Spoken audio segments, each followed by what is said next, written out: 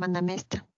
Мы приветствуем Инессу, интересуемся, готова ли она к проверке, доверит ли она нам свое биополе на период сеанса. Да, доверит. Визуально ничего не видно? Нет. Даю команду на счет 3. Сканер сканирует пространство над головой Инессы под ногами 360 градусов вокруг нее. Сканер сканирует все семь тонких тел Инессы, находит все. У нее на ногах очень-очень тонкая пленка какая-то вокруг э, тонких тел. Хорошо, если это... А, вокруг тонких тел. По, всем, по всему телу? Или только в ногах? Да, но она в ногах идет э, где-то до бедер. Разрезаю эту пленку, и она идет в клетку тюрьму. Подтягиваются также все сопутствующие чипы, датчики, импланты и конвекторы, связанные с этой оболочкой. Она выдавилась в шар, и она как вода тонкая, прозрачная. Отправляю в клетку Готова. Даю команду на счет 3. Сканер сканирует пространство над головой Инессы под ногами 360 градусов вокруг нее. Сканер сканирует все семь тонких тел Инессы, находит все. Выстраивает оболочки канал к ответственному, притягивая в клетку тюрьму. Она чистая, вот к этому шару никто не притягивается. От него идет слово иллюзия. Давай поставим экран. Ставим экран и посмотрим, что это за иллюзия, откуда этот шар, откуда эта пленка взялась, оболочка. Ну, ей показывают, что все, что ей говорится, и всю информацию, которую она принимает, она все поглощает и не дает анализ, не, не делает этой информации. То есть не делает паузы. Не обдумывает эту информацию, да. поглощает и принимает как полезную и нужную. Но чтобы развиваться, не только принимать нужное, но и анализировать эту информацию то, что проанализировано, остается. Но ну, любой информации есть, есть как крупинки какие-то, которые собираются вот в эту невидимую оболочку. То есть это то, что не прошло через анализ. Непроработанная информация, соответственно, становится вот такой пленкой. Если в ней не разбираться и не вникать в смысл, она превращается в балласт. Как мы сейчас видим, это балласт в ее биополе, он там не должен находиться. Лучше выучить одну вещь, разобраться в ней, дать себе время и после этого переходить к следующему этапу, если что-то интересно. Кроме того, нужно иметь критическое мышление. Не вся информация полезна, не вся информация правдива. Здесь надо разбираться, они, они просто с закрытыми глазами все поглощают. Здесь тоже, конечно, есть такая своя соответствующая грань. Я думаю, нам, я благодарю куратора за этот ответ. Я надеюсь, когда он придет сегодня, он нам ответит чуть подробнее по этой теме. Хорошо, Инесса, вы слышали сейчас то, что откуда происхождение этой пленки, она вам не нужна? Ей еще идет информация, что ответ уже пришел. Эта пленка называется иллюзия. иллюзия. Не надо принимать информацию в иллюзиях, надо сортировать ее, анализировать, задавать вопросы, и чтобы это было понятно а если это непонятно, но ты просто веришь людям, то это вот таки, такой иллюзия откладывается. Все понятно. Благодарю за эту информацию. Хорошо, это оболочка во вред. Мы ее убираем, открывая под оболочкой воронку в галактическое ядро. Она уходит на переработку. Закрывая, печатая, растворяй. Посмотри, сколько инессе нужно энергии, какая частота вибрации будет ей комфортно. 380 25. На счетре макушку головы Инессы начинает поступать 7 высоковибрационных потоков по 380% каждый. 1, 2, 3. Потоки пошли. Наполняет, усиливает. Все необходимые ей цвета начинают поступать. Мощность потоков усиливается. Частота вибрации поднимается до 25 Гц. Пошел подъем. Готово. Синхронизируется энергия вибрации, гармонизируется, распределяется, усваивается наиболее эффективным образом. Один, два, три. Хорошо, Инесса, как вы себя чувствуете? А, великолепно. Я очень рада за эту информацию. Главное, что я чистая, а с этим я смогу э, справиться и проработать. Безусловно. У нас остались 10 вопросов к вашему куратору, и сейчас мы будем приглашать куратора в нашу комнату диагностики.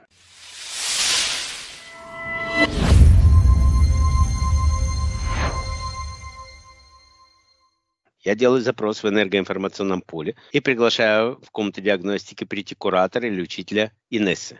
Здесь это мужчина. Снимаются маски и голограммы, фантом предстоит перед тобой в первозданном виде согласно своему эфирному коду ДНК. Мы приветствуем куратора или учителя Инессы. Представьтесь, пожалуйста, как нам к вам обращаться. Благодарю за этот радушный прием. Приветствую вас. Очень рад находиться здесь и наблюдать за этим прекрасным процессом Зовите меня Ясень. Ясень. Приветствуем вас, уважаемый Ясень. Меня зовут Влад, это Вера. Мы сегодня проводили проверку вашей подопечной. Ваши слова зашли насчет этой оболочки. Я надеюсь, Инесса поняла, она подтвердила эту информацию. Десять вопросов оставила Инесса с просьбой задать их ее куратору. Будете ли вы так любезны, уважаемый Ясень, ответить на эти вопросы? Да, несомненно. Именно для этого я сегодня здесь. Благодарю вас. Я начинаю с первого вопроса. Откуда пришла моя душа? Можешь, пожалуйста, описать, как это выглядит? Какой великолепный вопрос. Конечно, я на него отвечу. Твоя душа так же, как и моя созвездие, вернее, скопление, плеяд, Семь сестер. Как это выглядит? Это прекрасный вопрос, но очень обширный. То, что вы знаете, это семь крупных звезд. На самом деле, конечно же, в созвездии их намного больше звезд, туманностей. И я, конечно, могу это показать, но не все увидят. На этом месте мы приветствуем представителя Плеяд, моих родных Плеяд. В нашей комнате диагностики мы очень вам рады. Благодарю за это приветствие и встречу. Мне трудно будет это описать, это можно лишь почувствовать представителю Плеяд. Наши родные энергии несут всю информацию о месте положения и силе Плеяд, знания, наименования, а также значение каждого объекта скопления звезд. Каждый объект занимается своей работа и предназначение. Благодарю. Благодарю вас. Позволите на направляющий вопрос такого плана, может быть, Инессе было бы интересно, как выглядит плеядианец? Энергия. Энергия. То есть вы можете сами... тело. Вы можете сами себе выбирать любой вид или... Примерно одинаковый вид. Примерно так же, как примерно одинаковой энергии. Благодарю вас. Уважаемый Ясень, я перехожу ко второму вопросу. Какой уровень моего высшего Я? Двенадцатый уровень высшего Я. Благодарю вас. Третий вопрос, я думаю, вам понравится. Как выглядит мой стержень? Да, действительно, великолепный вопрос. Чтобы объяснить, как выглядит стержень, я должна рассказать, как выглядят плеядианские энергии. Плеядианские энергии немного тяжеловатые и густоватые. Они насыщены цветом, и очень сильно влияет на эмоциональный фон. Именно поэтому заполнение большим количеством энергии может привести к удары по эмоциональному фону на физическом плане. Стержень внутри тебя. Я подбираю слова, извините. Стержень внутри тебя выглядит очень сильным внутренним энергетическим столпом, наполненным пледианскими энергиями. Эти энергии могут расширяться, как и энергии любых других объектов, когда ты работаешь с ними.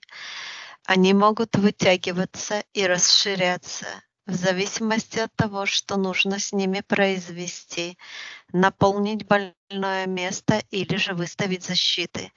Самое главное в плеядианских энергиях на Земле это правильная гармонизация и распределение по телу биоробота. Так как я уже сказал, глиадианские энергии немного тяжеловаты, в отличие от ангельских энергий, например, где много легкости, соответственно, требуется больше, больш, большой процент энергии. Благодарю. Благодарю вас. Мы хотели сказать, просто плеядианские энергии нужно дозированно получать. Именно в тех цифрах. Они тяжелые, они плотные энергии. В нашем понимании, так, ну, можно как с медом сравнить. Они густые такие. Если немного перекачать себя этими энергиями, то начинается дискомфорт. Дискомфорт может э, ощущать не только сам человек, но и его окружение. Я правильно вас понял? Да. Благодарю вас. Перехожу к следующему вопросу. Четвертый. Какие мои таланты я сейчас не ценю, но они предназначены мне для реализации моей души? А я бы хотел похвалить твою душу, так как ты упорно работаешь над собой. И скажу честно, в этом воплощении твоя душа продвинулась с 11 уровня. Твое высшее я находится на 12 на данный момент благодаря твоей работе и усердствию но я бы хотел заметить, что ты поглощая и работая над собой, забываешь о критическом мышлении и, и анализу. Я хочу объяснить, как это происходит. С одной стороны, ты находишься или в постоянном анализе, с другой стороны, ты можешь беззаветно доверять информации. Должен произойти баланс одного и другого. Во всей информации должна найтись крупинки того, что является истиной. А чтобы понять это, слушай свое прекрасное сердце. Это место, где находится твой стержень. Это его основное место расположения. Как я уже сказал, ты можешь его расширять, вытягивать и делать другие формы в зависимости от того, э, что ты собираешься произвести со своей родной энергией. Твоя душа открывается, и она чувствует всю правильную информацию, как я уже сказала, истину. Слушай свое сердце. Благодарю. Благодарю вас. Перехожу к следующему вопросу. Пятый. Какая моя наиболее негативная модель поведения мешает моему прогрессу? Хорошо, я отвечу на этот вопрос. Твое эмоциональное состояние благодаря плеядианским энергиям и мыслям, они могут быть тяжелые, как мысли, так и эмоции. Помни об этом и не допускай этого состояния. Вообще запомни, что мысли всегда формируют твое эмоциональное состояние, поэтому старайся мыслить позитивно, видеть позитив вокруг себя и рисовать позитивные картинки будущего. Не спускайся на низкие вибрации, не утяжеляй и так тяжелой энергии. Старайся возвышаться, вытягивая свой стержень, расширяя его, чтобы эти энергии не скапливались в одних каких-то мысленных пропорциях. Я приведу пример, чтобы было понятней. Например, разговаривая с человеком или начиная какое-то действие или разговор, думая о позитиве, и начинай на высоких вибрациях и хороших нотах. Не надо начинать свой контакт с человеком с претензий, негативных форм разговора или же подозрений. Лучше начать с легкого вопроса. Не забывай, что не у всех энергии плеяд. И твой неправильный подход может выглядеть со стороны как упрек или негатив для других энергий. Поэтому старайся гармонизировать свои энергии, гармонизировать их с этим миром, в котором ты живешь. Помни, что ты живешь среди разных энергий и людей с разных объектов. Душ я бы называл с разных объектов. Поэтому уважай чужие энергии. Это поможет тебе гармонизироваться и быть всегда в балансе. У тебя прекрасная тактика улыбки. Поддерживай ее. Благодарю. Благодарю вас, уважаемый Ясин, за этот развернутый ответ. Я перехожу к шестому вопросу. Когда я вижу пророческие сны, как мне их истолковать, понять? И что мне лучше с этой информацией делать? Интересный вопрос, но я не могу на него ответить. На половину его я не могу ответить. Я объясню почему. Благодаря своему росту, развитию и знаниям, а также чистоте твоей души тебе поступает разная информация во время сна. Открываются воспоминания и знания. Знания, которые ты получила перед воплощением. На данный момент все, что ты можешь сделать, проанализировать свой сон, запомнить его, попытаться прожить его. Но не надо сильно вникать и углубляться в эту информацию. Прими это как информацию, ничего больше. Вторую часть вопроса, что с этим делать, я бы оставил на будущее. Когда твоя душа будет готова, тебе придет ответ, что с этим делать. На данный момент постарайся удержать эту информацию, записать и отнестись к ней как к информации. А также постарайся проанализировать детали этого сна, цвета, чувства. Душа во сне тоже разви- развивается. Поэтому постарайся развиваться правильно. Пока принимай это просто как информацию, но старайся развиваться в этой информации, запоминая детали. Благодарю. Благодарю я вас за этот ответ. Седьмой вопрос. У меня особая связь с животными. Они меня не боятся. Птицы могут сесть меня на ногу или на руку, белки едят из моей руки и так далее. Какова моя связь с животным миром и как я могу ее использовать? Это то, о чем я говорил тебе. Ты гармонизируешь свои энергии с окружающим тебя миром. Это прекрасно. Обрати внимание на детей и других людей вокруг тебя, как они реагируют на твое, на твои энергии. У них выше вибрации. Посмотри, как ты синхронизируешься с другими душами. Флора и фауна принимают тебя. Земля принимает пледианские души. Я объясню немного в другом контексте. Я назову общее, в общем названии люди, которые населяют планету Земля и ждут помощи извне от других цивилизаций, забывая о том, что другие цивилизации воплощаются и помогают в человеческом образе, в человеческом биороботе сохранять Землю, помогать флоре и фауне, бороться с мусором и загрязнениями. Это делаете вы сами, души, воплощенные на Земле. Не забывайте, что вы и есть души с разных объектов. Благодарю. И я благодарю вас, уважаемый куратор Ясень. Перехожу к восьмому вопросу. Как я могу научиться лучше визуализировать? Прекрасный вопрос, но я ответил уже на него. Детали. Запоминай детали связывая их с чувствами, что ты чувствуешь в этот момент. Свеча ожог, сигаретный дым, противное ощущение, поют птицы, прекрасный звук и так далее. Ассоциируй своим эмоциональными со своими эмо, эмо, эмоциональными рефлексами, рефлек, рефлекторами. Ассоциируй детали. Благодарю. Благодарю вас. Девятый вопрос. Как мне лучше связаться с моим куратором? Благодарю за этот вопрос.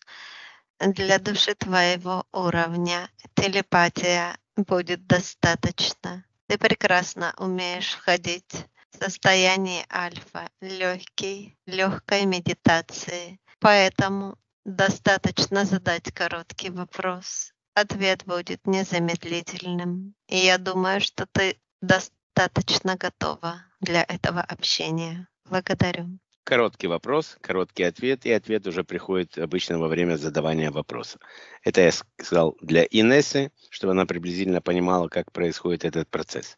Это делается в состоянии альфа, как вы и сказали. Я благодарю вас, уважаемый куратор Ясень. И последний, десятый вопрос. Что важного я еще должна знать, о чем я не спросила? Я считаю, что мы обговорили все на данный момент требующие внимания недостатки. Недостаток иллюзии, недостаток анализа, проблема иллюзия, развитие деталей, эмоциональный состав и гармонизацию с внешним миром. Ты знаешь, как выглядят твои энергии, ты можешь чувствовать их внутри себя. Я бы немного добавил, что если есть какие-то неопределенные боли, ты можешь использовать энергию плеяд, направляя ее в это место, излечая себя. Благодарю. И я благодарю вас, уважаемый куратор Ясень, за, этот, за ответы на эти вопросы. Если вы хотите сейчас активировать внутренний стержень, если он еще не активирован у Инессы, это был бы самый лучший момент. О, стержень активирован давно.